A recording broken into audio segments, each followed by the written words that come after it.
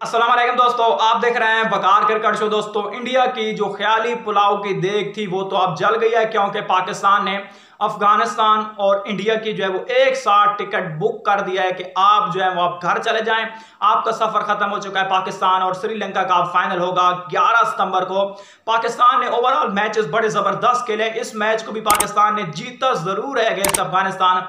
लेकिन पाकिस्तान के बल्लेबाजों ने मायूस किया, वो तो भला और नसीम शाह के आखिर में आके उसने नाकाबिल यकीन मैच पाकिस्तान को जिताया है और एक हिस्ट्री क्रिएट कर दिया नसीम शाह ने बरल भारत जो सोच रहा था कि काश अगर अफ़गानिस्तान जीत जाता और हम अफ़गानिस्तान से जीत जाते, पाकिस्तान श्रीलंका से हार जाता तो इंडिया का टिकट जो है वो फाइनल के लिए कन्फर्म हो सकता था, लेकिन ऐसा नहीं हुआ है। पाकिस्तान की टीम और श्रीलंका की टीम अब खेलने जा रही है एशिया कप 2022 का फाइनल अफगानियों को भी छुट्टी हो चुकी है। बहरहाल अफ़गानिस्तान ने बहुत ही लाजवाब किस्म की क्रिकेट खेली है। तो उन्होंने जो मैच पाकिस्तान के साथ भी खेला है, वो भी बहुत ही ज़बरदस्त किस्म का मैच था। बरल इंडियन टीम को बहुत ही ज़्यादा मायूसी का सामना करना पड़ा है कि वो एशिया कप से अब बाहर हो चुके हैं। बहुत ही बुरी तरह जो है भारत की टीम यहाँ पर नाकाम हुई। एशिया कप के अंदर श्रीलंका से आ रही पाकिस्तान से आ रही तो इंडिया की टीम का जो सफ़र है वो खत्म होगा। फॉर्मेलिटी मैच एक रह गया अफ़गानिस्तान और श्रीलंका का। सॉरी इंडिया और श्री सॉरी इंडिया और अफ़गानिस्तान का।